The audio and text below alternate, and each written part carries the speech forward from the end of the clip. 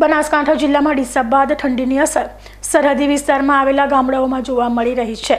ઉત્તર ભારતમાં થયેલી હિમવર્ષાને પગલે ઠંડીમાં થયેલા વધારાને લીધે સુઈ ગામના ગામડાઓમાં રીતસરની બરફની છારીઓ જામી ગઈ છે.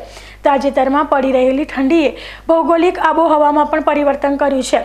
આમ તો સરહદી સુઈગામ વિસ્તારની આબોહવા સૂકી આબોહવા છે અને સૂકી આબોહવામાં ઠંડીથી બરફ ના જામી શકે કારણ કે ઠંડીથી બરફ જામવાની ઘટના ત્યારે જ બને છે જ્યારે હવામાં ભેજ હોય.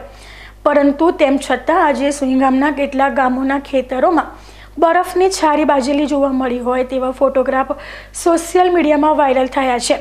આપણા જિલ્લાની દેશી ભાષામાં તેને હિમ પડવાની ઘટના તરીકે ઓળખવામાં આવે છે. અને હિમ પડવાથી ખેતીના પાક તમામ બળીને રાખ થઈ જાય છે. ત્યારે સરહદી વિસ્તારમાં પડેલા હિમને પગલે ખેડૂતો ચિંતિત થઈ ગયા છે.